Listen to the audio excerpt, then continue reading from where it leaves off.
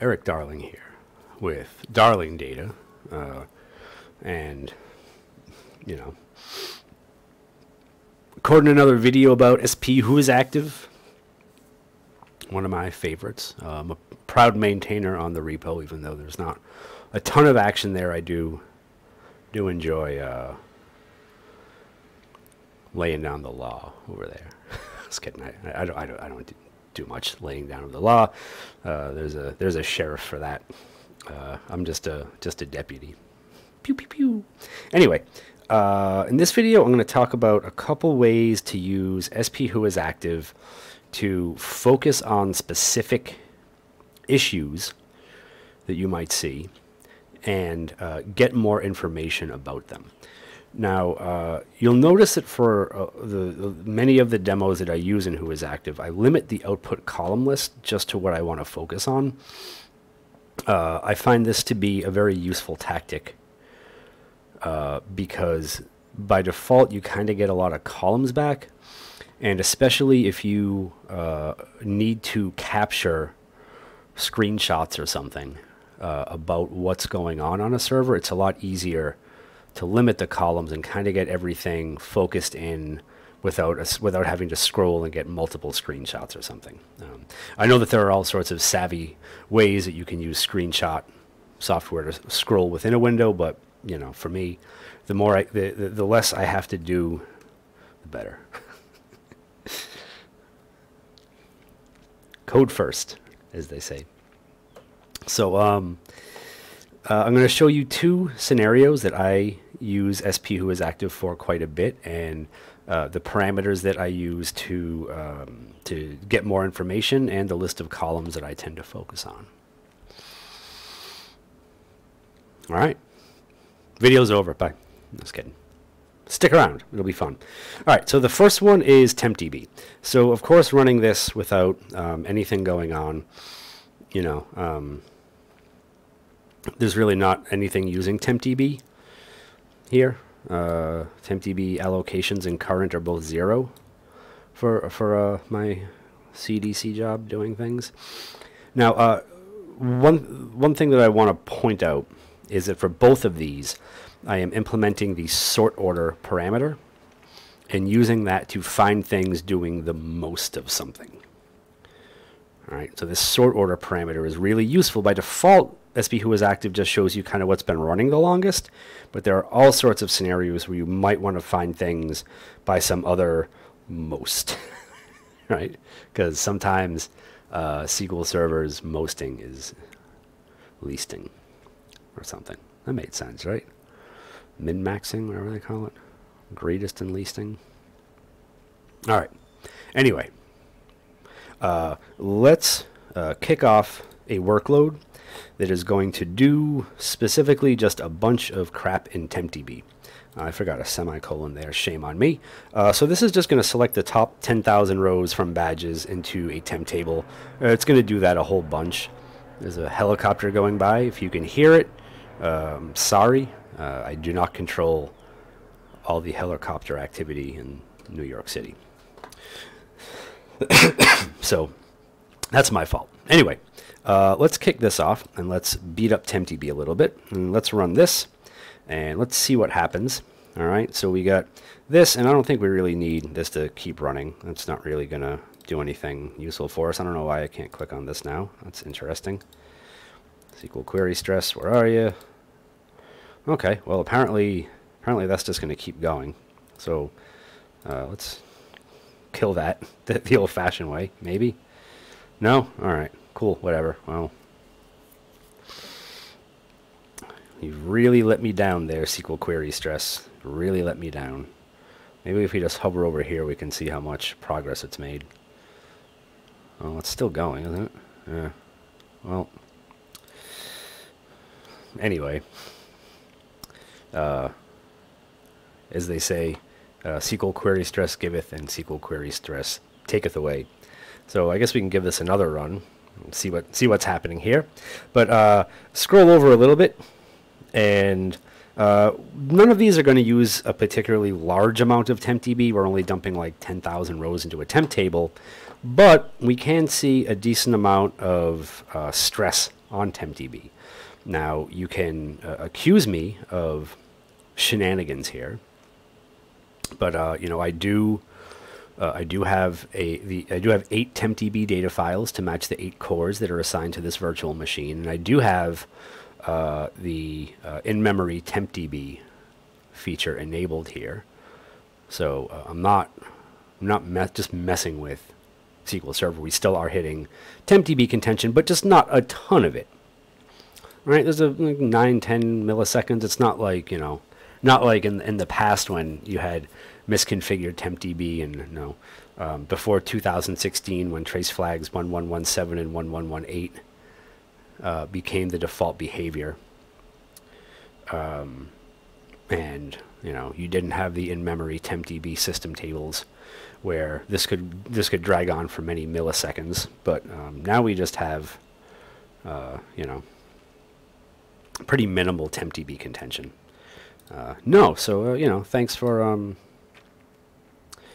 thanks for finally showing up thanks for finally finishing groovy Gro groove groove is in the heart Cool. So that this is that's this is the the, the setup that I use if I'm troubleshooting uh, contention in TempDB.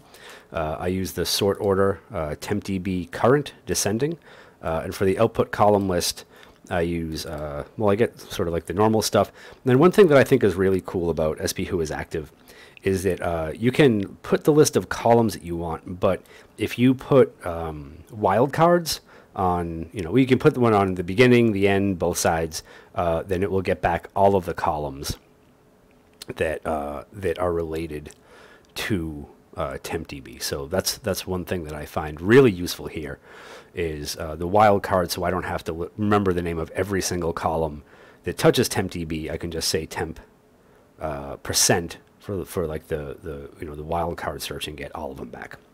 So pretty cool there. The next one that I want to show you, and uh, that's why I have these columns on a new line because my big head gets in the way of some of these over here.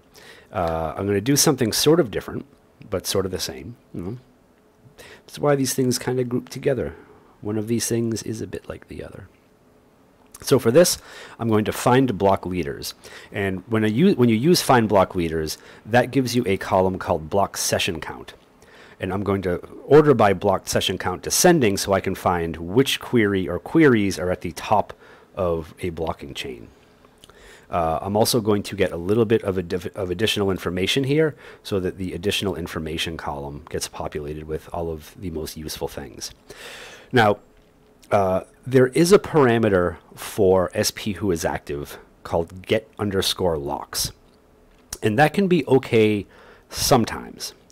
But what getLocks does is it populates an XML column, like an XML clickable column, with all sorts of lock information.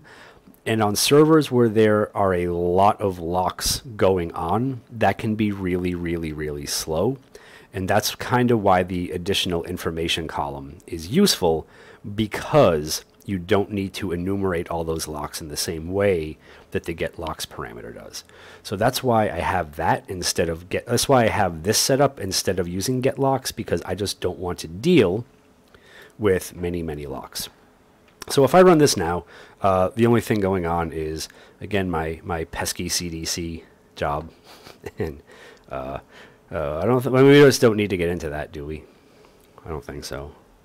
Probably probably not too interesting to get into that. But uh, what I'm going to do is come over to this window.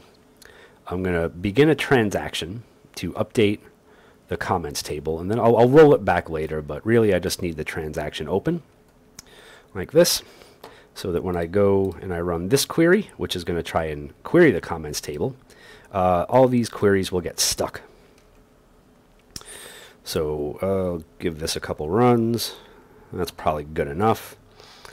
And uh, yeah, so we can cancel this. That uh, amazingly that worked, and I'm going to uh, roll this back, and I'll deal with the the rebuild over there uh, in a moment. Uh, the reason for the rebuild is because I am updating an nvarchar column where uh, to something where you know it, like it just shouldn't be happening. I don't want to. It can just cause just causes weird stuff with other demos. So I have that out there. But the important stuff that we get back, the uh, the SQL text, the query plan, which can be really really useful for troubleshooting blocking problems. Uh, over in the wait info column, uh, we have uh, information about the queries that are blocked waiting on lock waits. Now, there's no wait info for that top query, right? If we look over here, this top query has no wait info associated with it. That's because remember, queries doing the blocking do not emit lock waits unless they're being blocked. But in this case, this query is just free to go off and do whatever it wants, and it is and it is causing the blocking. So other queries are wait, waiting to get locking waits to do their thing. Now I am under the default isolation level for SQL Server, which is read committed, which is garbage. And I don't recommend it, but it is good for the purpose of this demo. So thanks for being good for one thing, read committed.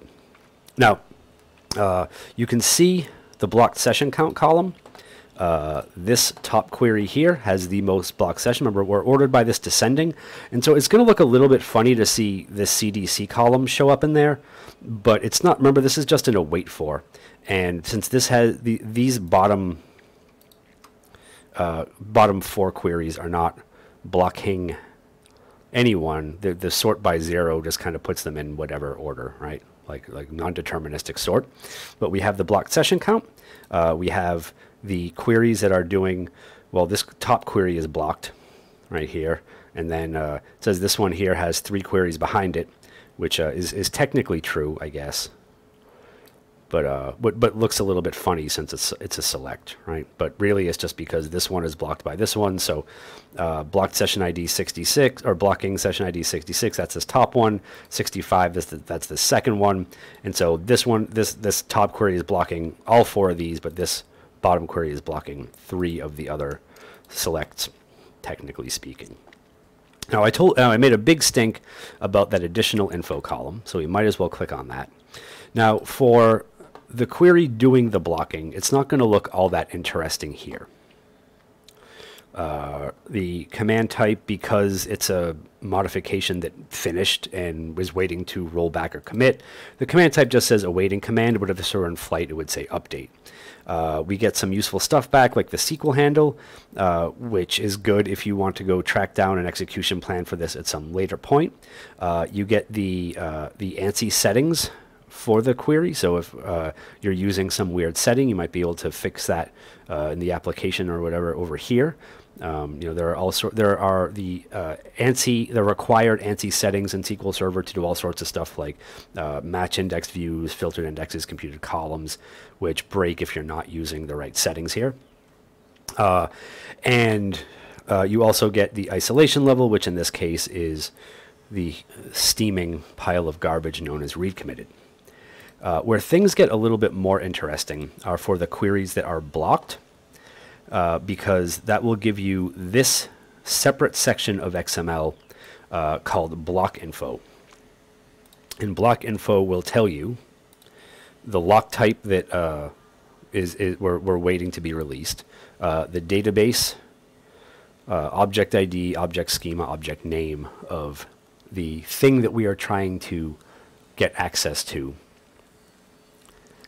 And that's good because then we can figure out, um, you know, if it wasn't obvious from uh, I, from either the the query doing the blocking or the query that is being blocked, we can get uh, information about exactly where this thing is jammed up. Now again, you can get a lot more detailed information using the get locks parameter, but when there's a lot of blocking going on, that can be really, really terribly slow. But uh, the additional info column for all of the other three blocked queries will show just about the same thing. Uh, we'll see, you know, the information about the database here. Uh, I don't know. That's about, that's about it. Anyway, uh, so this is a couple ways that I use SP Who is Active to troubleshoot specific scenarios on servers. There are all sorts of other ways you can do this. There are all sorts of things that you can do to uh, get more customized uh, output from who is active. We're going to talk about filtering uh, results in the next video, but this is a pretty good uh, illustration of how I use SP Who is active to um, to filter out to certain things or to uh, troubleshoot specific scenarios. Anyway, thank you for watching. I hope you enjoyed yourselves. I hope you learned something, uh, and I do hope that you will watch future videos of mine, and that you will like and subscribe to my channel. That you are feeling sleepy, very sleepy. You will find yourself clicking the like and subscribe button, and um, yeah, that's that's that's that for me. That's it. I'm out of here. I'm done. Tired. So tired. So ever loving tired. Anyway, thanks for watching.